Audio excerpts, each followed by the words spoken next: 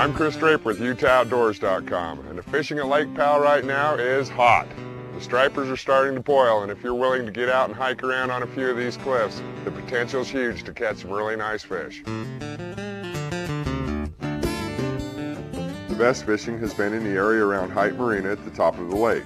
Stripers are a ferocious predator and they feed extensively on the tiny shad that are abundant in that area. The little fish often jump completely out of the water with big stripers in hot pursuit. The frenzy makes the surface of the water look just like it's boiling. Boils often occur in the same coves day after day, usually during the early morning or late evening hours.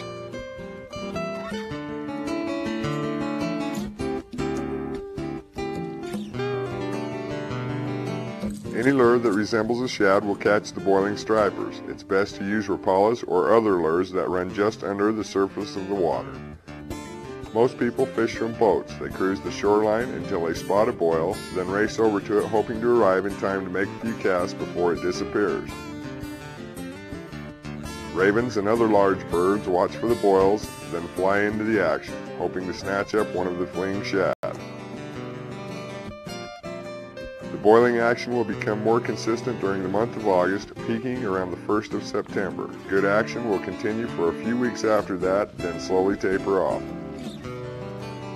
Now's the time to get out to the big lake for some really exciting fishing. For more information on striper fishing at Lake Powell, log on to our website.